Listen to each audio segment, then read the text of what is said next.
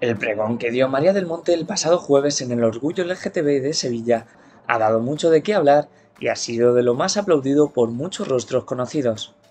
Melanie Olivares ha sido uno de ellos. Genial.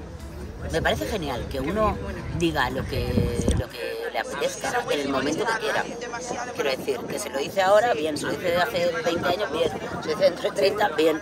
Es decir, cada uno con su sexualidad, eh, lo que quiere. Es que estamos muy sobre la participación de Isabel Pantoja en el Orgullo de Madrid, opina lo siguiente. A Isabel Pantoja, como que hay mucha gente del LGTBI que la sigue y está con ella, pero yo no sé qué es el feedback que ha tenido ella con los demás. Entonces, como no lo sé, prefiero enterarme y luego os lo cuento. Además, nos confiesa no creer en el amor y prefiere tener breves historias románticas.